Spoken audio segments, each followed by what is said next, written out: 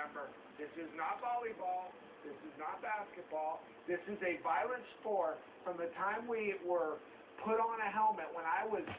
ten years old to the time I finished when I was thirty-seven, where I wasn't coached to violently strike the opponent as hard as I possibly could.